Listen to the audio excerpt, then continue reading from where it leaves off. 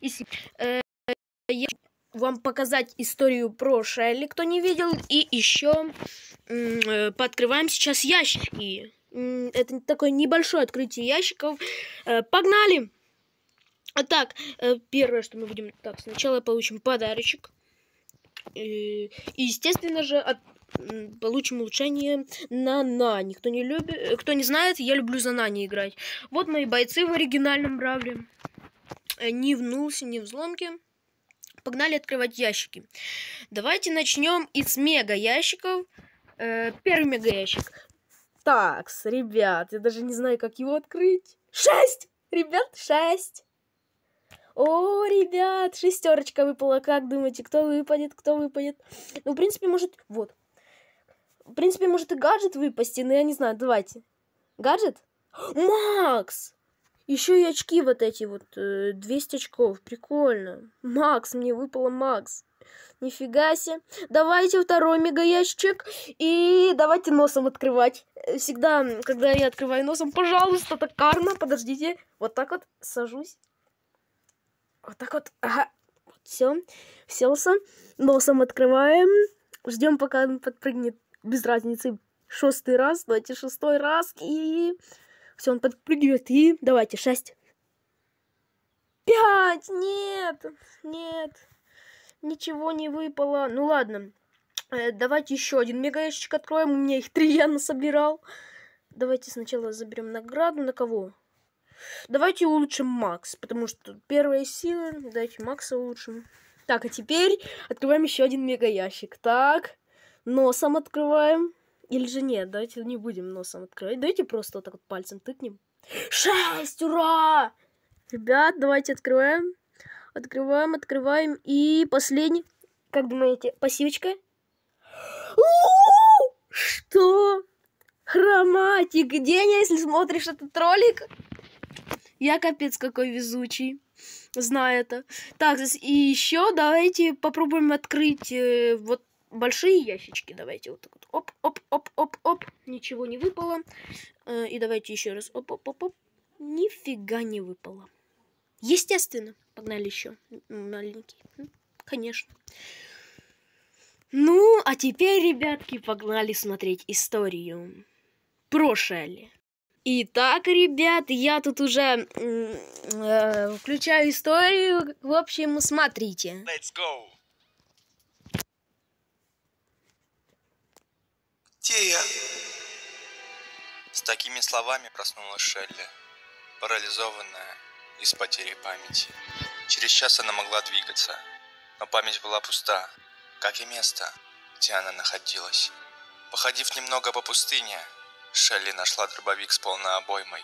Она на всякий случай подобрала его, но стрелять не умела, и продолжила искать живую местность. Конца пустыни не было. До вечера у Шелли уже не было сил. Она хотела есть и пить. Все, что у нее было, это песок. Она потеряла хоть какую-то веру на спасение и уже начала мириться с тем, что рано или поздно умрет. Как из ниоткуда появился кабан, на спине которого прикреплены дрова и спички. Шелли не поверила своим глазам. Кабан в страхе за свою жизнь нападает на девочку. В последний момент она успевает увернуться, но кабан никак не успокоится. Шелли уже закралась в мысли убийства животного. Это потенциальная еда. Стрелять она не умеет, но пока не выстрелишь, не научишься. Кабан с бешеной скоростью бежал на Шелли, и в метре от себя она выпустила дробь пуль. Оружие выскочило из рук, но цель подбита. У Шелли появилась надежда на спасение. Она соорудила костер и пожарила кабана, ни секунды не задумываясь, откуда он взялся. И самое главное, кто привязал к нему дрова и спички. Забив желудок, Шелли уснула. На следующее утро опять произошло непонятное происшествие. Девушка увидела, как издалека на нее направляется огромный робот. Сердце начало бешено стучать. Шелли схватила дробовик и убегала как может. Но робот был быстр, а Шелли за время бега устала. Ей не оставалось ничего, как сражаться. Она зарядила дробовик и выпустила дробь в робота. Но ружье опять выскочило из рук, как она увидела какую-то заполненную шкалу на дробовике.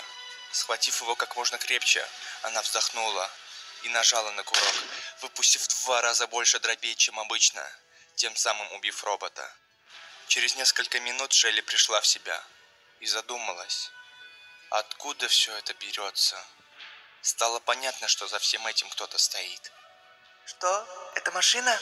Сказала Шелли, как увидела издалека приближающуюся машину. Она направила дробовик, ожидая, пока машина доедет до нее. Машина остановилась, и из нее вышел человек, который сказал «Опусти оружие, я не враг, и все тебе объясню». Шелли тихо опустила оружие, а мужчина начал рассказывать, как все было. Этого человека зовут Илка. Шелли сама приходила к нему и хотела стать бойцом на еще не построенной арене, но ничего не умела. Чтобы все получилось, Илка кольнул ей препарат, который на 24 часа стирал память. Все, что оставалось у девицы, это имя. Таким образом, испытуемая не помнила прежнего себя и спокойно смогла обучиться тому, что раньше было не по силе. Месту, куда он ее привел, будущая арена Brawl Stars. Девушка вспомнила все. Илка сказал, что Шелли станет самым первым бойцом на его арене. Так, уже через месяц арена была построена, и Шелли стала самым первым бойцом, кого увидели люди на арене. Конец.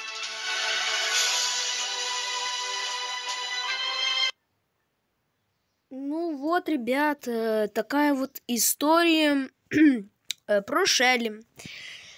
Э, Грустненькая такая, да. Ну, а с вами я хочу попрощаться. С вами был я, Милкшейк. Не забывайте ставить лайки, подписываться на канал. С вами был я, Милкшейк, да.